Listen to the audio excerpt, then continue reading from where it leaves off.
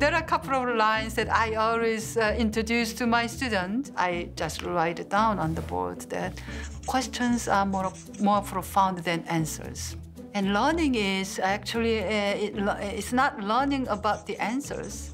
It's learning about how to raise good questions. Not because I want to avoid finding answers, but because answers are always context specific. Answers are provisional all the time. It depends, right? For example, you can see still in Texas the bumper sticker. Jesus is the answer.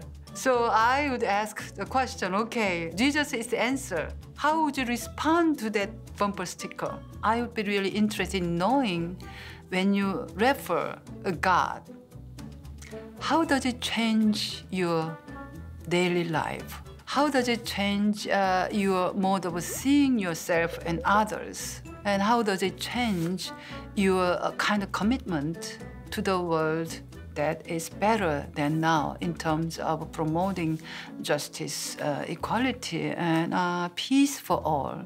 So when you see the bumper sticker, Jesus is the answer, you just take as a uh, kind of given. For me, it is really kind of relevant religious literacy that we inherit all the so-called religious tradition, but you have to take it not as a given, but as a task to wrestle with those so-called the tradition. So even such a seemingly simple bumper sticker, it really uh, kind of uh, invites with all kind of question